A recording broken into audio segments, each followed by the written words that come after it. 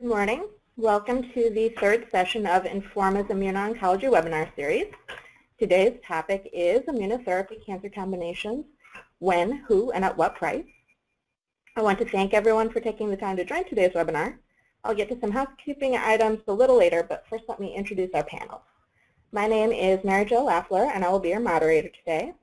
I'm currently Bureau Chief for Clinical Development and Business News for the Pink Sheet Group, where I've spent the last 15 years reporting on the pharmaceutical industry. I'm joined today by Dr. Beth Nash, Chief Medical Officer of Real Endpoints, a healthcare analytics company. She is a former infectious diseases clinician and has over 20 years of experience in managed care, publishing, product development, and consulting. Dr. Joshua Brody is an assistant professor in hematology and medical oncology and the director of the lymphoma immunotherapy program at the Mount Sinai School of Medicine in New York City. Dr. Brody's current research focuses on two areas, lymphoma immunotherapy and a class of targeted therapies called B-cell receptor signaling inhibitors. With clinical focus in chronic lymphoid leukemia, cutaneous lymphomas, follicular lymphoma, mantle cell lymphoma, and post-transplant lympho lymphoproliferative disorders, his lab at the Mount Sinai focuses on basic and applied tumor immunology. Rachel Meehan Mantha is a principal analyst with the oncology team at Citeline. She has a PhD in cell and molecular biology from Boston University and conducted postdoctoral research at the Lombardi Cancer Center, Georgetown University, and at the Holland Laboratory, American Red Cross. Before joining Citeline, she worked as a scientist in genetic and molecular toxicology at Covance.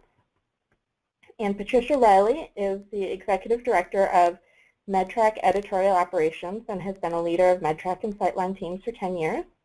She has 15 years of pharma experience in drug discovery as a research scientist in cell and molecular biology for Boehringer Ingelheim and later as a principal analyst in inflammation immunology for competitive, competitive assessment involving in-licensing and new target proposals at Boehringer. Before we get started, I want to review a few housekeeping, housekeeping items and let you know how to participate in today's webinar. First, you should have a control panel on the right side of your screen. Towards the bottom of the control panel is the Q&A pane. You may submit questions or comments in writing using the Q&A pane during the presentation. Your questions will be answered either during the webinar or after the webinar by email. Today's webinar is being recorded, and everyone will receive an email with a link to view a recording of today's event.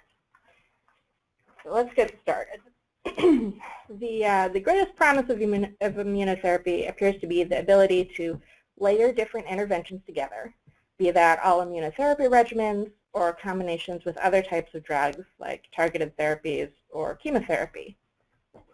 So far we have one immunotherapy-immunotherapy combination on the market, Bristol Myers Squibb's PD-1 inhibitor Opdivo and its CTLA-4 inhibitor Yervoy in melanoma, uh, but there's certainly a lot more coming. Rachel, can you get us, us started? Um, walk us through the lay of the land in terms of what sponsors have active clinical trials for combinations and on what diseases? Thank you, Mary Jo. Yes, I would be happy to walk you through the landscape.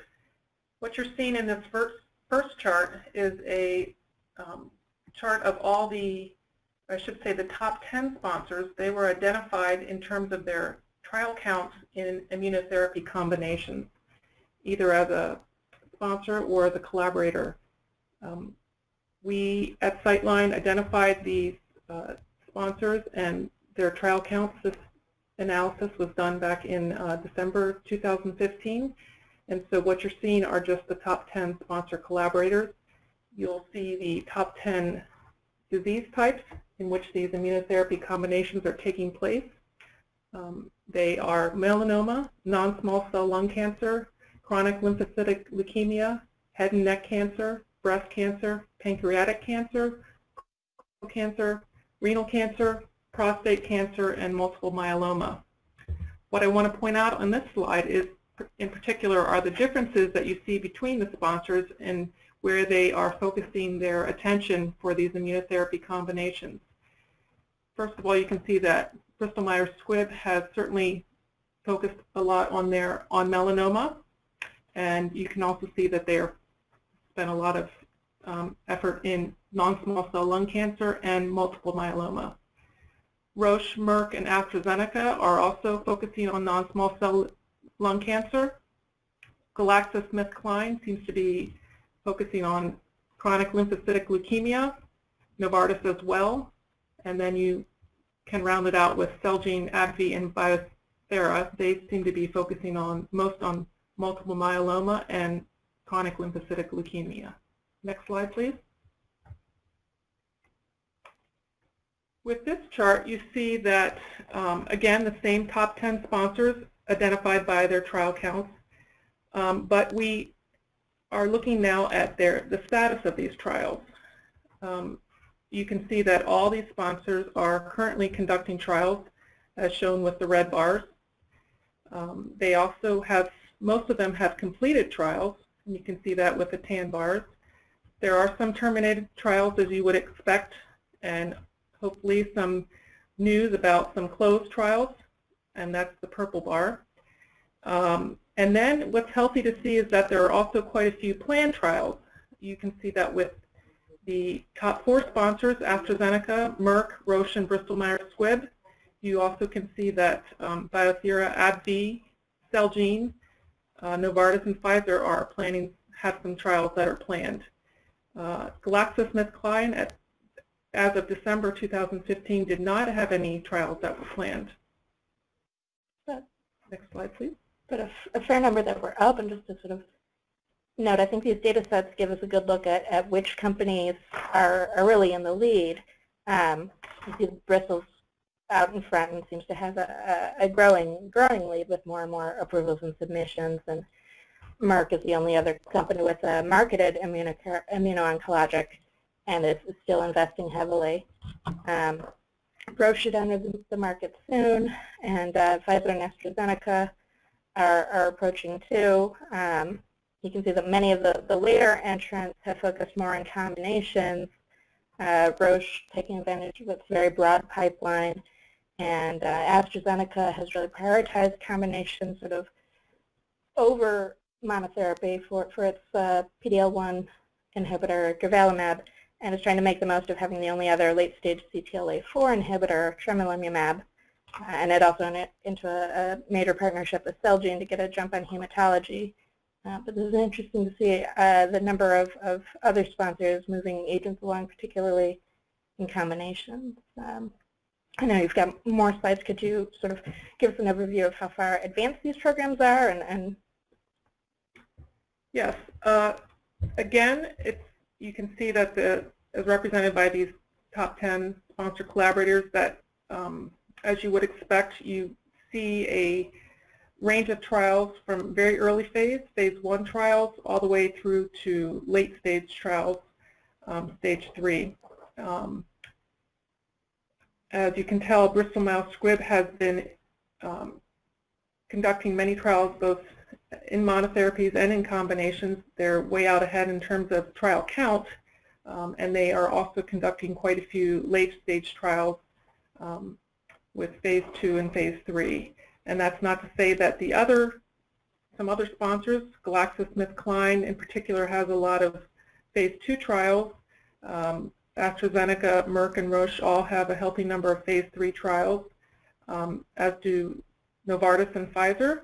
Um, and then you see some of the smaller companies again with you know the early stage phase one and phase one two, but they also have a fair number of phase two trials as well. It's interesting to see that sponsor by sponsor, um, but we're seeing a lot of, of companies working together. Uh, Patty, could you give us a sense of what's been going on in terms of cross-company collaborations? Sure. Um, so shifting uh, from the trials to sponsorships and collaborations, um, we took a look at trends in the immuno-oncology agreements between biopharma companies over the past five years. So as you can see from this uh, slide, agreements have dramatically shot up and have doubled from 2014 to 2015. The beginning of 2016 has already started out with a good number of agreements so I think we're well on our way to seeing another big year for collaboration. As interest in the combining of checkpoint inhibitors with other immunotherapy rises and the field of immuno-oncology becomes more competitive, the number of agreements has risen dramatically. Biopharma companies realize that there's a huge number of possibilities for combinations using double and triple uh, regimens.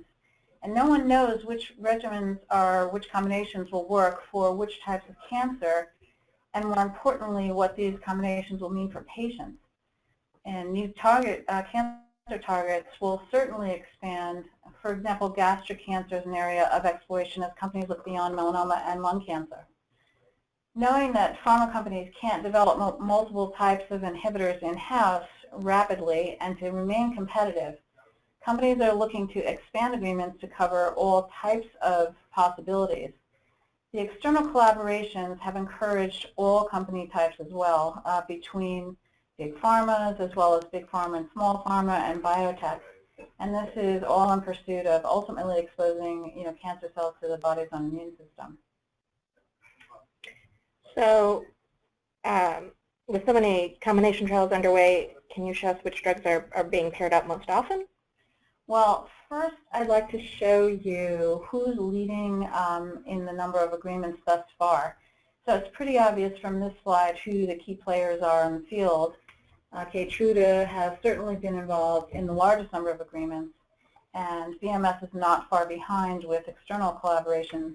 And this slide doesn't include um, any kinds of trials that BMS is doing with its uh, own two drugs, um, so Yervoy and Opdivo.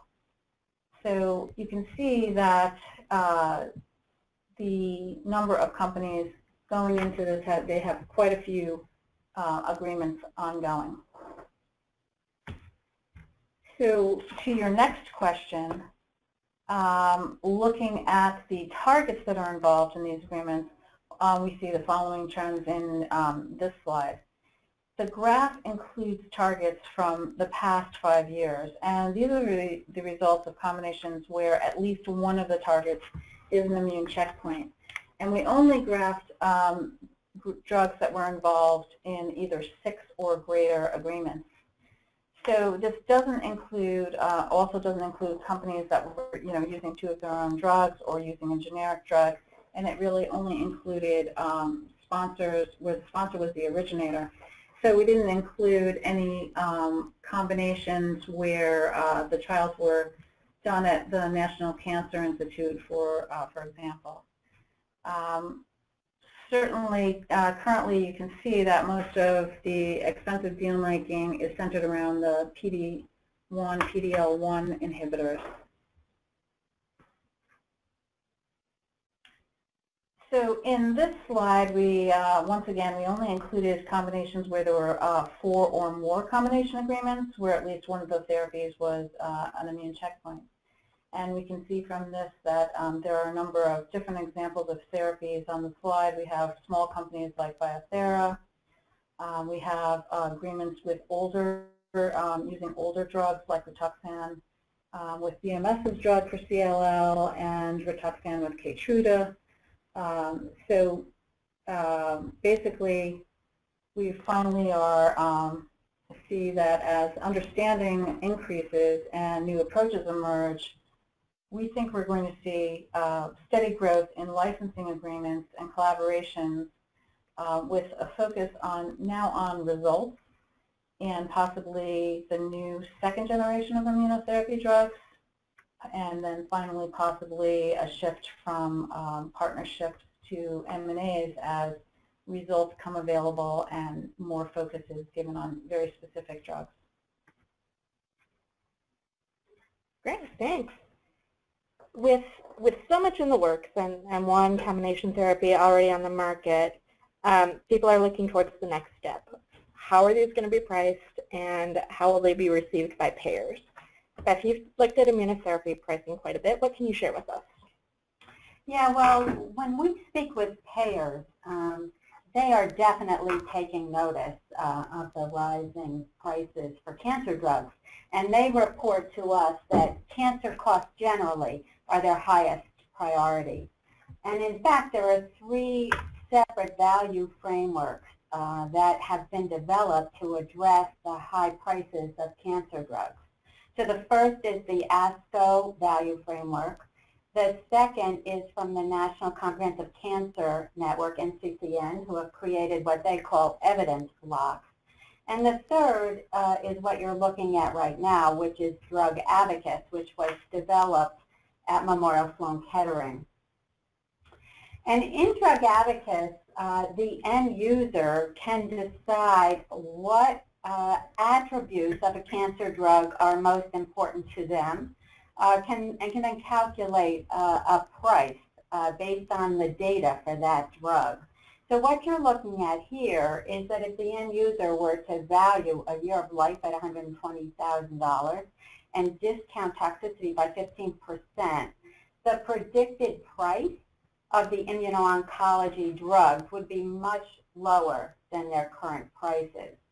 Now, so far, payers are not doing much about this, but we do expect the situation to change. But first, it's important to understand how payers actually go about controlling drug costs. So the first um, is in commercial insurance, um, payers can limit use, and they do this uh, through utilization management. So that includes requiring prior approvals where the doctor has to um, get permission to use the therapy or step therapy where a patient needs to try and fail a lower priced uh, treatment and then can move on to the more expensive therapy. The second way uh, commercial insurers uh, control uh, things is by managing costs. And in this case, what they're doing is by formulary placement. So a, a drug uh, gets a preferred position uh, on a formulary. Medicare, however, is quite different, um, and oncology drugs are a protected class. Uh, so essentially, substantially all oncology drugs must be made available, and utilization management techniques um, for limiting use are only possible uh, for new starts of therapy. Thanks. Um, that's a, a helpful overview and, and really lays the, the groundwork. Um, for the already marketed immuno-oncology drugs, what sort of reception are they getting with payers? So what you um, see here is a summary of um, some work that we've done talking to payers um, about their preferences for Opdivo versus Keytruda in patients with non-small cell lung cancer and with melanoma. And so far what's happening is payers do not appear uh, to publicly have significant impact on the choice of uh, PD-1s. Um, but, um, and, and also in addition to that, they are not requiring use of the PD-L1 uh, diagnostic test to date.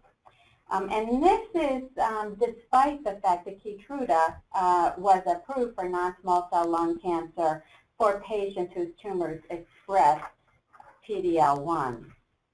Now, the PD-L1 biomarker um, is expressed on certain tumor and this testing is the first companion diagnostic uh, for any of the checkpoint inhibitors. One thing that's interesting to note uh, is that one national payer recently altered their policy to state that Keytruda for non-small cell lung cancer uh, was only indicated in patients with um, who had PD-L1 positive disease. We suspect that at this point in time they're going to take the physician's word uh, for the uh, positive test, but this is likely uh, to change. One thing that's um, interesting to note as well is we're talking here about public policies. Uh, it's also possible that there are some hidden preferences going on. For example, an increasing number of provider contracts involve risk sharing. Um, and providers may be incentivized to use cheaper treatment options in those sorts of contracts, but these contracts are all confidential. So are you expecting reimbursement to become more difficult with more drugs entering the market, and as the drugs are increasingly used in combination, um, and like some of the things you're talking about, are there other measures payers are taking to control utilization and cost? Yeah, so payers are definitely uh, taking notice, um, but have not uh, implemented uh, significant measures to control costs yet.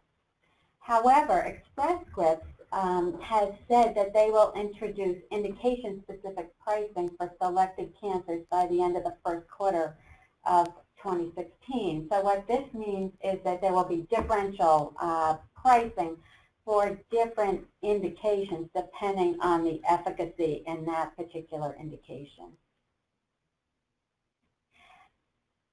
Looking um, at the next slide, what you see is um, how uh, combination therapies um, are being priced. And um, again, we, the payers have not really uh, taken notice uh, as yet, but it's really interesting to see that Bristol has priced the combination at only 6% higher than Yervoy alone. Um, this does seem like novel pricing, but we actually took a look at this in a little uh, more detail, and we believe that this is just a function of the fact that Opdivo is a fifth the price of Yervoy, and that the dose of Opdivo is significantly cut um, for the, common, the period of combination therapy. So the pricing in our mind is not really novel. Um, but we do expect as time goes on that payers will do the math and take a closer look at some of these uh, creative pricing strategies and be more on top of them.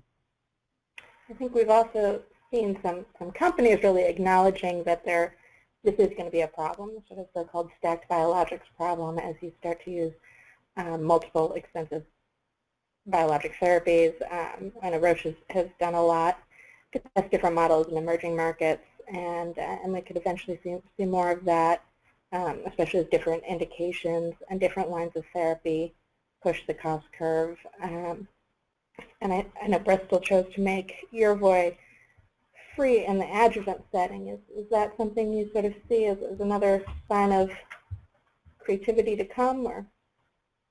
Yeah, so what we're thinking um, about the um, the Yervoy uh, being offered free in the ad adjuvant setting is, first of all, this is a very small patient population, maybe a little more than 3,000 patients. Um, and it's likely that Bristol finds it cost-effective to give the drug away uh, for three years in such a small population rather than having to deal with reimbursement policies.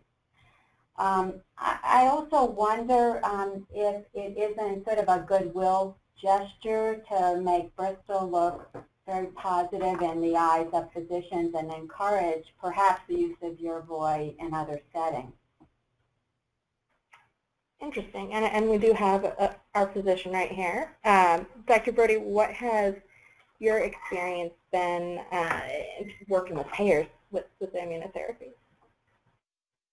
Um, my experience has been, for me, surprisingly positive in that uh, we've had maybe more leeway than I would have expected. I'm not sure if that's confounded by the fact that I work at an academic center and uh, somehow they give us some uh, consideration, but uh, let me point out it is differential, so certainly we've gotten a fair amount of leeway with uh, anti-PD-1 antibodies, um, using them uh, easily for the FDA-approved indications, as was hinted without any PD-L1 biomarker submitted, even a reference to our own interpretation of that. And just to comment on uh, your thoughts that we'll have to take the physician's word on it, uh, other than literally sending sending the samples in uh, centrally to Merck, uh, I don't think that we'll ever have a reproducible assay uh, if we all check uh, our LDL or cholesterol in this room, 100 different labs to get almost the same answer, but uh, checking the PD-L1 immunohistochemistry between five pathologists will give us five different answers. So it's very hard to say that that test is reproducible yet, even if it's qualitatively pretty good, hard to quantitatively reproduce it. So it's hard to see that on the near term, even for that one payer you mentioned that's starting to recommend it, that it be required. so PD-1 for FDA-approved indications have been uh, easy antibodies to get, and uh, in all honesty, for non-approved indications have also been remarkably easy to get. Uh, hematologic malignancies, other solid tumors, and I'm, I'm just guessing that's because it's early days and uh, people have erred on the side of that. By contrast, ipilimumab has been much more difficult to get, and my understanding is that it's not just because of the price, but that's because of the increased toxicity of, uh, of anti-CTLA-4 antibodies that uh, payers are less eager to be associated with bad outcomes that might be associated with that. I'm sure the money is probably not, uh, is not nothing either. Uh, so our experience has been, uh, so far, surprisingly quite good. And, you know, at, medical meetings and, and, and just talking with physicians, you know, it seems that a lot of clinicians have become more and more concerned about the cost of oncology drugs. And, at ASCO last year, uh, a lot of presenters started talking about financial toxicity alongside the safety and efficacy data. Uh, so Dr. Brody, put you on the spot again. As a clinician, how does price affect your treatment decisions? I think we worry about uh, financial toxicity the same way we worry about global warming. We don't actually stay up at night freaking out about it. We know it's a bad thing, but maybe we're willing to change our lives to a degree to accommodate that bad future. But it's uh, for us by far a second or tertiary priority when you have a sick patient in front of you. Uh, it's hard, to hard for us to think about money and certainly even crazier to think about telling them about uh, financial considerations. We, we, we worry about it in the same way as global warming. We want someone else to fix it. Uh, we don't want to have to fix it. Uh, uh, I think the financial toxicity is a real thing, not for just immuno-oncology, for every new cancer medicine. I don't think, that, I mean, you pointed out the distinction of immuno-oncology being even more overpriced than other things, but there are a lot of expensive medicines, and you know, some even more so than immuno-oncology are being used for years per patient uh, and I think it's a little harder to, well, I think that's factored into the abacus that you showed, the Sloan Kettering abacus, but, uh, uh, but some of these other medicines are used for even much longer. So I think there's a lot of expensive medicines. I think that uh, we will go bankrupt uh, if we continue in this direction. Uh, as individual oncologists, and, and, I'm sorry, let me again distinguish that an academic probably has a slightly different perception of this than a community doc, where if they're getting delayed reimbursements or non-reimbursements, that you know, keeps them from paying their rent or putting their kids to, uh, through school, whereas uh, in academia we're a bit insulated from that. So we think about it uh, cerebrally. It doesn't come into our practice day to day. We probably do have a bunch of people in our pharmacy registration uh, cohort who do think more about this versus that, Keytruda versus uh, Opdivo, et cetera.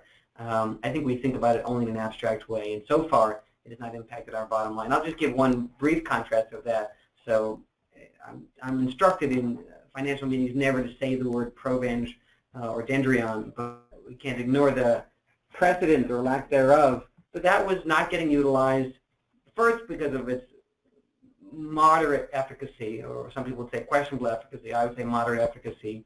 Um, and probably also because community oncologists who were seeing these patients didn't want to shell out 90000 uh, and maybe get reimbursed X months later. Um, so, I mean, there definitely was an impact there. Uh, it was not the home run that, uh, or at least triple base hit that, uh, that anti-PD-1 is uh, for most cancers. The, the checkpoint inhibitors are proving to be a lot easier. Yeah, yeah, absolutely. But there is some precedent of, of, of pushback from community oncologists when the price is exorbitant uh, and they're not as confident in the efficacy. Melanoma, lung cancer, bad diseases, bad options, clear efficacy, it's a no-brainer. Uh, with more marginal efficacy, there's a precedent of a community oncologist pushing back by not using the medicines. Thanks.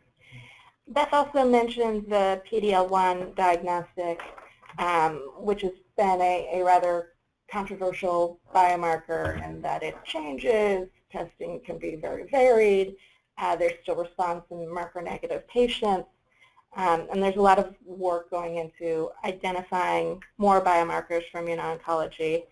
Um, Dr. Brody, what is your experience in terms of, of patient selection using biomarkers, either if you do the PD-L1 testing, um, or if you, if, you know, will having biomarkers help you make treatment decisions? And so what do you, what do you need to feel confident in the biomarker and that it predicts for the drug? This is a tricky one because it really almost goes cancer by cancer. Let me speak to the approved a bit and, and then also acknowledge my expertise and lack thereof in some histology. So I'm a lymphoma CLL doctor. So, you know, I think a lot about melanoma. I take care of these patients uh, briefly, but I'm not a, an expert in this disease. So nonetheless, we can't ignore the huge, uh, for melanoma very specifically, the huge impact that a biomarker would have here, which is not that you wouldn't give, so it's not quite the simplest interpretation, it's not that you would or wouldn't give PD-1 antibody to a melanoma patient. Every single one of them is going to get an anti-PD-1 antibody uh, at some point, probably earlier rather than later. The real question for them is whether they get combo versus monotherapy. So uh, PD-L1 positive patients, anti-PD-1 by itself, almost as good as combo uh, PD-1 plus CTLA-4 blockade. PD-L1 negative patients, now uh, ipilimumab adds a lot of benefit to those patients and it's a medicine we wouldn't, as I mentioned, otherwise want to give if we didn't have to because of its toxicity. So um, how close to a standard of care that will be, I mean, to me that's almost a no-brainer standard of care going forward, not maybe today where PD-L1 immunohistochemistry is not universally available, not by a long shot, um, uh, but going forward, if my relative had melanoma and they were PD-L1 negative, I'd want to give them combo therapy. If they're PD-L1 positive, I'd give them, uh, I'm sorry, I hope I said that right yeah, PD-L1 negative, I'd give them combo therapy. I hope that's what I just said. And PD-1, uh, uh PD-L1 uh, positive, I'd give them anti-PD-1 monotherapy. Um, so that's for melanoma. Whether we'll get that combo, and that combo, as you saw from some of those, I will call them swimming histograms, some of those sideways histograms you showed, uh, P, uh, PD-1 plus anti-CTLA-4, both in BMS and also anti-PD-L1 plus TREMI uh, from uh, MedImmune uh, AstraZeneca, sorry, um, uh, is being, you know, the most frequently looked at combinations just because of the precedent. Uh, whether whether that will pan out for any other cancers and have that same story of PD-L1 picking apart the benefit of uh, adding in the second more toxic agent, uh, it's hard for me to guess. Um, so that's all about PD-L1 biomarker to distinguish between monotherapy uh, and combo therapy. The more, I don't know, straightforward question is just using PD-L1 to decide do I use an anti-PD-1 antibody or not.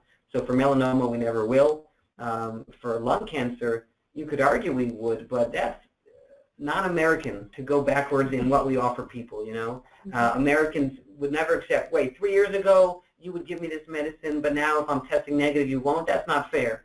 And Americans are very entitled and it's hard to fight with them. Um, so it's hard to see that for things like lung cancer would ever go, I'm going to put this in quotes, you can't see my air quotes, go backwards um, in terms of availability of the medicine. So it's more about going forwards, how we'll use PDL1. So it's more about how the companies will expand to new cancers with PDL1 testing.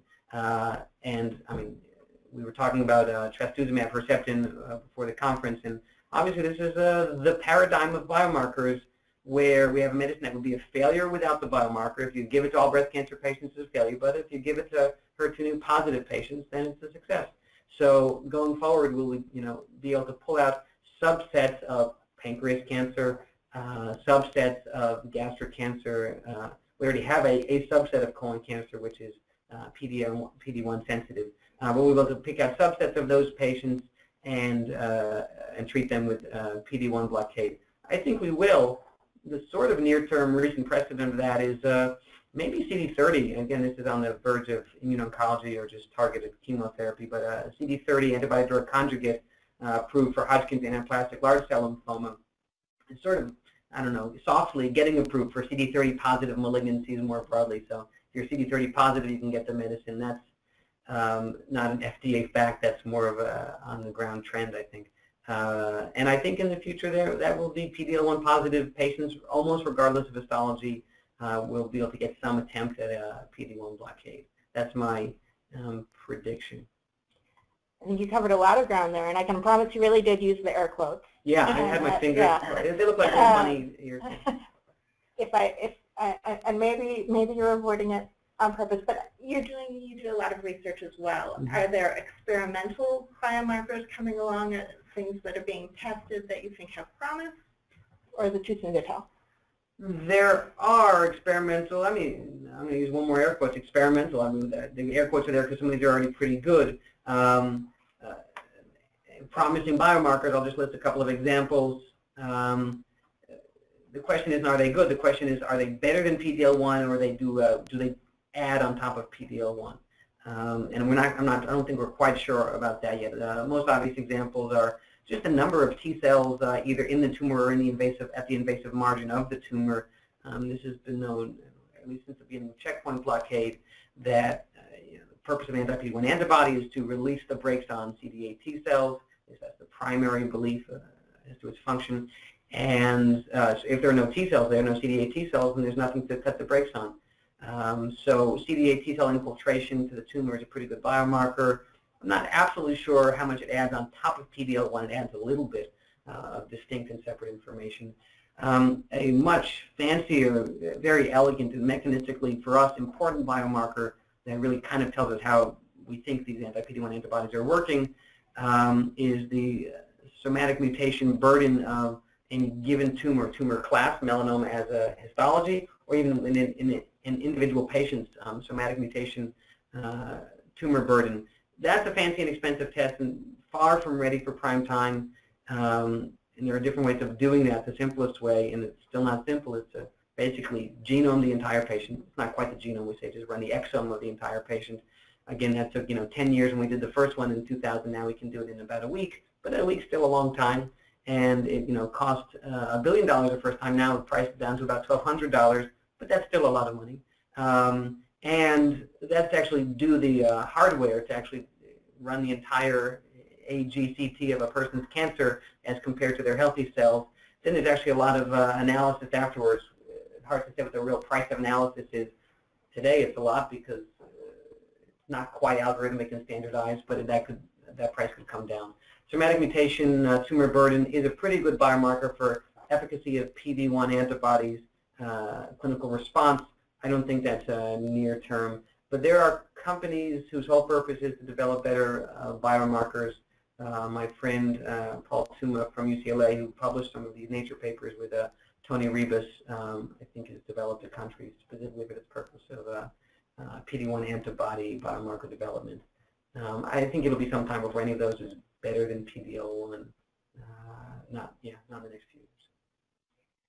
Um, but it certainly seems like utilization of PDL, PD-1 and PD-L1 drugs is, is going fine without the selection, just delivering on the promise of efficacy. Yeah. Um, sort of taking another look at the pipeline, um, Rachel, could you show us a bit more about what's, what's coming soon and what could have the biggest impact?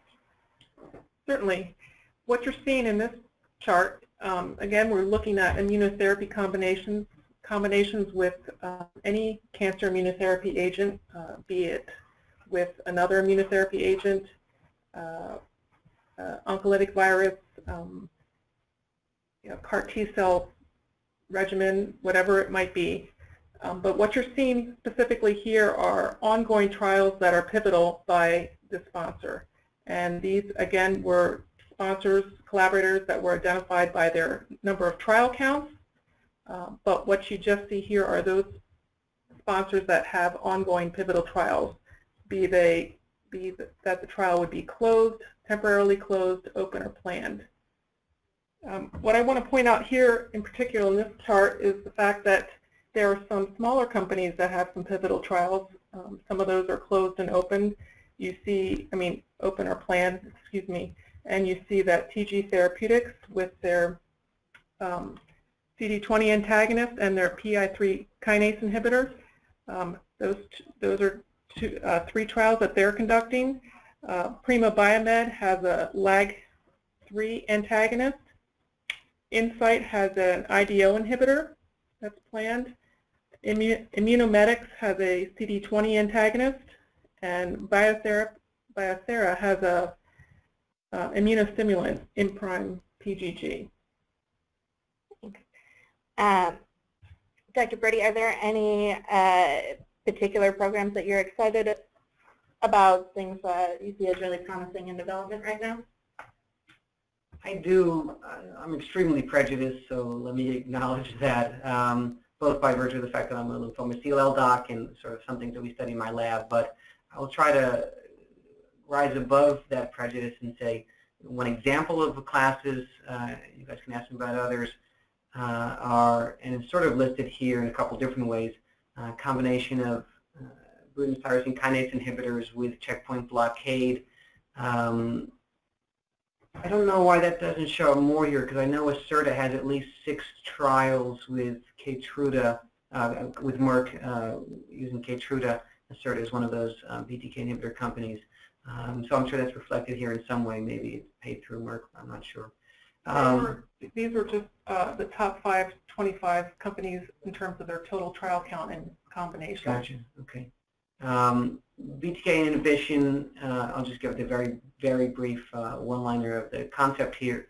Um, BTK inhibition is uh, by a long, by a wide margin, uh, the most exciting and successful uh, thing in uh, hematologic malignancies, certainly in 15 years since rituximab, um, and it's had a huge impact on the lives of many different types of B-cell malignancies, CLL, diffuse large cell lymphoma, mantle cell, Waldenstrom's, and uh, and they have this other immunomodulatory effect, which we didn't initially talk about very much.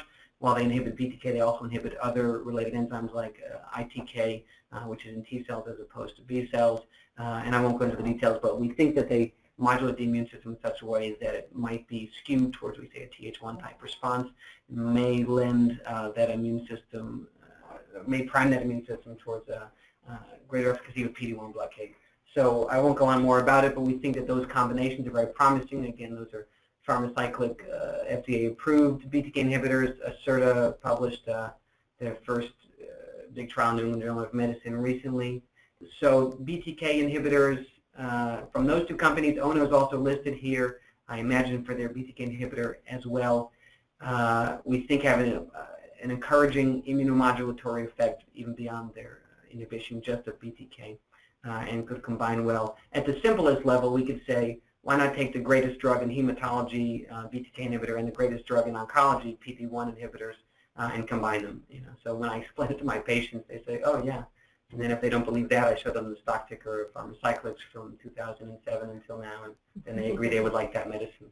Um, So pharmacyclic AbbVie. yeah, sorry, so I could call it AbbVie now. Yeah, yeah, um, as of uh, two months ago. Um, although it's funny, some of those trials are still being run by their prior partner, Janssen. Um, I don't think I would get them onto this uh, picture here. But now AbbVie going forward, yeah. Uh, so I think those are very promising. Uh, we haven't talked much about CAR T-cell therapy because those are all small and almost we call them niche markets, but I do have some optimism that they will be bigger and go beyond their niche uh, over the next couple of years. So it's, uh, we would say, uh, again, low-hanging fruit to combine CAR T-cells which is just another type of anti-cancer T cell, one that's been a bit duped and tricked and genetically manipulated to fight uh, cancer cells. Um, but they are still T cells and they are still susceptible. We, we know that they upregulate PD-1 uh, when they're activated and are susceptible to PD-L1 induced inhibition. So a combination of CAR T cells with PD-1 or PD-L1s are, we think, very low-hanging fruit.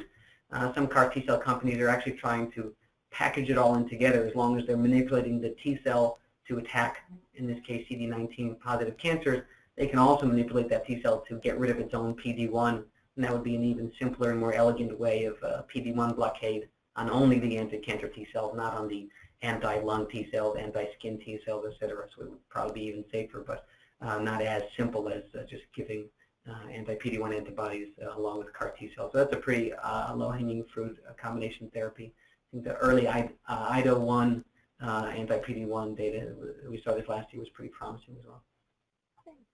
Like Rachel, you also picked out some near-term trials that that'll be delivering in the next few years? Yes, these are closed pivotal trials. Uh, what I want to point particularly is that of the five trials listed here, the ones in black are for drugs that have already been approved in their first indication and they are now um, undergoing pivotal trials. They have pivotal trials for their an expanded indication. You can see uh, um, with those in black that the patient, patient segment they're targeting are first-line patients, first-line untreated patients, whereas the trial that's shown in red is the uh, Primus trial for IMPRIME uh, PGG in combination with Erbitux or cetuximab. And this is actually a, for a first registration, for first approval, and it's for second-line patients in KRAS wild-type colorectal cancer. Um, just one more item about this particular slide is that you can see in the uh, column to the far right is that we these are the expect, expected timeframes for their top-line results. Uh, this was uh, sourced from Trialtrove and BioMedTracker, and I want to point out at the bottom with the Checkmate 67 trial with Opdivo and Yervoy that the progression-free survival and co-primary endpoint was actually already reported at ASCO 2015, and we're just waiting for the um, report on the other co-primary endpoint of overall survival. And um, we have selected one particular investigational combination to look at as a case study, Amgen's Blincyto with Merck's Keytruda in diffuse large B-cell lymphoma, uh, which is the most prevalent form of non-Hodgkin's lymphoma, um, via partnership that also paired up Amgen's anti-colony stimulating factor 1 receptor antibody with Keytruda in solid tumors. Uh, Rachel, could you um, explain the rationale for combining these two agents? Uh, I think that uh, just in thinking back to what one comment that Dr. Brody made earlier is that you know, the idea for combination therapy is that you are targeting different components of the um, immune system, and we can see with the checkpoint antagonist uh, Keytruda that um, you are targeting the T cell, and in combining that with the um, bispecific um, T cell engager uh, Blincyto, you are actually using or marrying those two uh, drugs to target different components of the immune patient's immune system, the T cells and the B cells, excuse me, T cells, and bringing the T cells in close proximity with the cancer cells. So you're hoping, I think, as we all hope, that you're not just going to have an additive effect, but you're going to have a synergistic effect in using those two drugs. Um, we've seen this already uh, with in the Checkmate 67 trial with Yervoy. Um, and Opdivo, and I just mentioned in the last slide that the progression-free survival results for that particular pivotal trial have already been um, reported at ASCO. Uh, and we've also seen this with the Checkmate 69 trial in that the combination of Opdivo and Yervoy alone, um, or Opdivo and Yervoy together in contrast to Yervoy alone, the median progression-free survival was 8.9 months versus 4.7 months. And correspondingly, the overall survival rate was much higher in the combination versus the monotherapy alone. So, to put you on the spot again, Dr. Dr. Brody, do you have any thoughts about what this potential combination uh, could bring to the table in terms of, of efficacy and safety? Sure. Uh, yeah, just to repeat what was already said, this is an elegant combination that we're looking at. Uh, I would restate uh, the rationale in a sentence that uh, Blincyto brings T cells to cancer. Those T cells get exhausted. Anti-PD-1 blockade would prevent them from getting exhausted, so they could do their job effectively. Uh, Blincyto um, is another version, uh, is not true, but is another version of a CAR T cell. Um, they're really accomplishing the same thing it's not, they're not technically another version, but they're accomplishing the same thing in two directions. Uh, Long Island Expressway versus Grand Central, they're really getting to the same place, the T cell coming over the cancer cell and killing it by the exact same target. Um, uh, so everything I said for CAR T cells, I probably should have said for Blincyto before as well, uh, in terms of the combination potential with anti-PD-1. Um, whether uh, bispecific or CAR T cell, one might be better than the other, I'll, I'll, I'll table that uh, consideration. So Blincyto is FDA approved for ALL, a very small group of people in America. We do use it for those patients, but they would like to be used for every CD19 malignancy, every CD19 positive malignancy. The smartest one to go after is a bad one with few options, such as relapse refractory diffuse large cell lymphoma. Uh, and they have a little bit of preliminary data with diffuse large cell lymphoma. They actually had historically, when they were Micromet, um, before they were Amgen, had a fair amount of data with another bad uh, cancer, mantle cell lymphoma and had promising results with that.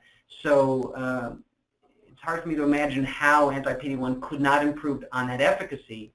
But there's then the question of their would they have additive or synergistic toxicity, and that's a trickier one to say because the toxicity of both these BiTEs and CAR T cells, somewhat similar toxicity, is partly understood. We call these things sometimes cytokine release syndrome or um, central nervous system toxicity is otherwise unspecified. And they have something to do, we think, with a T cell getting a little bit hyperactivated, spitting a bunch of spitting out a bunch of cytokines that make people get sick and go to the intensive care unit sometimes.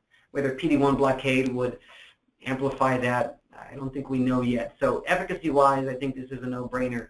I think uh, safety-wise is a little bit of a question mark still, uh, but it definitely is worth trying. I'll just say, uh, as a caveat, we have a bit better understanding of that toxicity now. Now we treat those patients standardly with anti-IL-6 receptor antibody um, and could probably do a bit better in terms of keeping those patients safe. So I have, I have optimism for this. I think it's an exciting uh, concept. Thanks. Um, Rachel, could you sort of lay out for us what the plan is for moving this uh, this combination forward? So this particular trial, it's planned as stated. It's uh, kind of unique in that it's a phase 1b3 trial design. Uh, we've normally just seen this trial design uh, in sometimes biosimilar trials, but not necessarily in the immuno-oncology combination arena. Uh, Amgen and Merck are actually the only collaborators that have been using this design for their IO combinations. Um, we can probably expect that in the phase one portion of this um, trial that we, they will be testing for dose limiting toxicities just like you would expect in any other phase one, but they are then jumping to phase three, and we do not know yet what the efficacy endpoints are. Um, since they just announced this trial in early December 2015, they we just we don't know when it's they will be initiating enrolling patients, but uh, it's exciting to see that it's going to be in um, an aggressive form of B-cell lymphoma, and uh, we can stay tuned to see what's coming up next. Um, one thing I did want to comment on is the uh, toxicities that we're seeing with these combination therapies. And Dr. Brody just alluded to the fact that the you do see higher toxicities when you combine these agents, and yet uh, now we know, at least in his practice, he commented that it's now somewhat preventable or reversible uh, with these patients if you are using combination therapies. Is that correct? Somewhat. In that specific example I gave of uh, and again, that's a little bit more about CAR T cells, but probably applies to these BiTEs as well. Anti-IL-6 receptor antibody is helpful. I would say it really makes the problem half as bad, but there's still some problem there in, uh, in CAR T cells and probably in BiTEs as well. Uh, the cytokine release syndrome is still an addressable problem, still needs some fixing. Um, so we have a we have a help, we don't have a fix. Yeah. I mean, one of the major issues for, for combinations across the board is, is going to be additive toxicity. Uh, how do you see that, and you can see with the Yervoy Opdivo combination, um, how is that going to affect the prospects for immuno-oncology combinations with, with regard to patient uptake um, and how comfortable physicians are with uh, prescribing these drugs in combination? Maybe I would divide them into those that we can uh, obviously foresee and those that are surprises. I hope that doesn't sound like Donald Rumsfeld when I phrase it that way. Uh, but there are some that are obvious. When you add combine IPI with something, you're going to get uh, ipilimumab, Yervoy toxicity plus some more. And those are not surprises, and they're going to be at least additive, and that's a lot of toxicity, so you can't add very much to a toxic drug. Uh, when you add an IDO inhibitor that is pretty well tolerated with a PD-1 antibody that's pretty well tolerated, we would expect it to be well tolerated. The early data showed that it was. And then we have some, so those are things going in the exact way you'd predict. And then you have some surprises. A BRAF inhibitor plus um, ipilimumab, uh, checkpoint or blockade overall, was not as well tolerated as we thought it would be. And that one, I wouldn't have foreseen. I'm not, I don't think anyone would have foreseen that one uh, very easily. But I think the majority of these are in the predictable group. And so when we start these combo trials and we say to them, well, I mean, I'll just go back to the BTK inhibitors plus the PD-1 antibodies that I alluded to both pretty well tolerated medicines. You know, people taking BTK inhibitors for five years at least. You know, just like they take their Lipitor and their uh, blood pressure medicines. Uh, so overall, I think that it's pretty well tolerated. And so far, early, early data of BTK inhibitors plus PD-1 antibodies have been, uh, as expected, well tolerated. So I think most of these will go as you expect. So if A is gentle and B is gentle, we expect A plus B will usually be gentle, and we'll only have a small number of surprises. I think we are running out of time, so I would like to remind people if they have questions to um, submit them through the Q&A pane. And um, if we don't get to them, live, then those will be answered by email. Um, and I think, Rachel, if you wanted to give us our last question. Uh, This is along the lines of the additive toxicity issue, but also does mode of administration factor into whether or not patients are going to be um, opting for the combination therapy versus the monotherapy. Um, I think the infusion rate for, um, uh, what was it, Blincyto, um, Sure. Was- yeah. 24 hours? Uh, so people actually hook up to their Blincyto for weeks. So they have to, right now we do the first, I think, nine days in the hospital, then they take the piggyback thing home and can do it at home for the uh, last three weeks. So that's a big deal. That has been Blincyto's maybe foremost obstacle to getting into less terrible cancers. If you have a terrible ALL and you're going to die otherwise in two months, then you're happy to do what you have to do. But yeah, getting into other cancers, that's been a hurdle. Yeah, that will affect its ability to go into other cancers. So, for example, low-grade lymphoma, where you have an option of a pill or going to the hospital for nine days, uh, that will definitely have an impact there. So it depends on how bad your cancer is. Uh, but Blincyto, that's sort of the extreme of uh, inconvenient uh, route of administration. I think we've got time for one more from the audience. Is going to paraphrase a general question um, for Patty about um, deal trends and, and what you're seeing uh, happening there. Well, I think in the last year we saw some really uh, large deals with a lot of money up front.